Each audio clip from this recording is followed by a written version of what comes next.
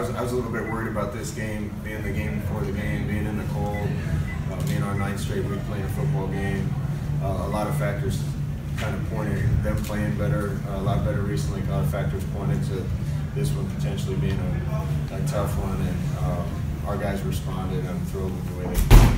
That was the uh, receivers idea. All us grouped up together uh, last night. in know, uh, hotel was like, man, we're gonna come out with no shirts because you know our coach, Coach Frost and Coach Walters, mainly Coach Walters, is like, guys, no sleeves, no sleeves. I'm like, you don't be cold. He's like, I don't want to hear no sleeves. So was like, all right, we got something. We can come out no shirts. So we ready to play. You know, we we can play in the cold too. Even though we Florida boys.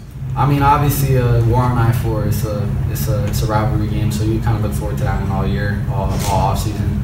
We know they're a great team. They're they're good on both sides of the ball, very athletic, kind of similar to us in all honesty. So it's gonna be a tough battle, but but we look forward to it and, uh.